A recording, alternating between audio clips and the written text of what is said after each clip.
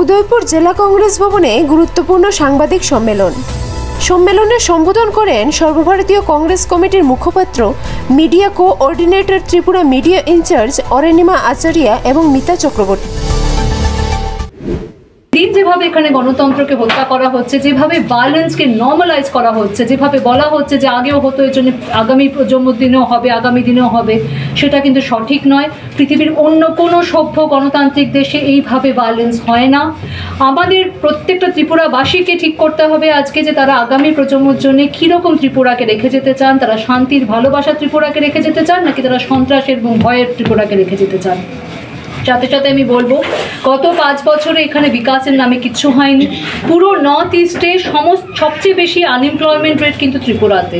এখানে every six person মানে one in six percent কিন্তু আনএমপ্লয় আনএমপ্লয়েড এবং কারেন্ট আমি আনএমপ্লয়মেন্ট রেট দেখছিলাম fourteen point two three percent national average যথেষ্ট হয় সেটা সাতের উপরে, কিন্তু যেখানে ন্যাশনাল অ্যাভারেজ সাতের উপরে আনএমপ্লয়মেন্ট রেট সেখানে ত্রিপুরার আনএমপ্লয়মেন্ট রেট বেকারত্বর হার কিন্তু চোদ্দ পার্সেন্টের উপরে। তো সরকারি চাকরি, সরকারি পদগুলোকে খালি রেখার, হাজার হাজার সরকারি পদ খালি পড়ে রয়েছে, কিন্তু সেখানে নিয়োগ করা হচ্ছে না। লোকে বলেছিলেন যে স্টার্ট আপ ফান্ডস দেবেন, বেসরকারি জায়গায় রোজগারের ব্যবস্থা করবেন সেখানে কিছু হয়নি আপনাকে চিন্তা করতে হবে আপনি আপনার সন্তানদের জন্য আপনার পরবর্তী প্রজন্মের জন্য কীরকম ত্রিপুরা রেখে যেতে চান আগে হতো বলে আগামী দিনে হবে এটা লজিক হলো এখন সন্ত্রাস শেষ করতে আরে একটা সভ্য গণতান্ত্রিক দেশ দেখিয়ে দিন যেখানে এইরকম লেভেলের সন্ত্রাস হয় যদি পশ্চিমবাংলায় হয় সেখানে কিন্তু কংগ্রেস প্রতিদিন এই সন্ত্রাসের বিরুদ্ধে কথা বলে আমরা কিন্তু কখনো এটা ভাবি না যে বিজেপির বিরুদ্ধে বিরুদ্ধে শুধু কথা বলব আর অন্য কোনো পার্টির বিরুদ্ধে কথা বলব না। সন্ত্রাসের বিরুদ্ধে কথা বলাটা কিন্তু ভীষণ জরুরি।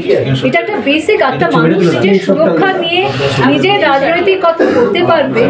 এটা কিন্তু একটা ভেরি বেসিক রিকোয়ারমেন্ট তো নিশ্চয়ই বলব যে এই কংগ্রেস পার্টি শুধু এখানে নয় বহু জায়গায় পার্টি অফিস পার্টি ওয়ার্কার্সদের বাড়িতে ভাঙচুর হয়েছে গাড়িতে ভাঙচুর হয়েছে। এটা কোনো গণতান্ত্রিক দেশ হলো।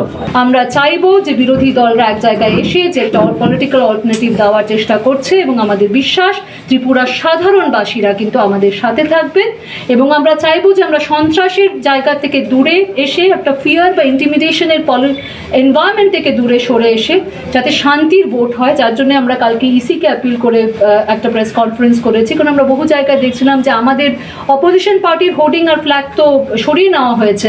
কিন্তু বিজেপির পার্টির হোর্ডিং অনেক জায়গায় যেটা ইসি গাইডলাইনের বিরুদ্ধে তার সেখানে এখনও রয়ে গেছিল। তো আমরা চাইব একটা লেভেল প্লেয়িং ফিল্ড যেখানে কিনা সন্ত্রাস হবে না রিগিং হবে না, এবং প্রত্যেকটা পলিটিক্যাল অর্গানাইজেশন নিজের কথা, নিজের ম্যানিফেস্টোর কথা বলতে পারবে, এবং মানুষেরা সন্ত্রাস বা ভীতির কোনো জায়গা থাকবে না, তারা তাদের নিজেদের ভোটাধিকার তারা এক্সারসাইজ করতে পারবে। আমার ভোট আমার অধিকার, শান্তির ভোট চাইছি এবং সেই শান্তির ভোট করে এবং আমরা চাইছি ত্রিপুরাবাসীরা একটা যাতে পলিটিক্যাল অল্টারনেটিভ আগামী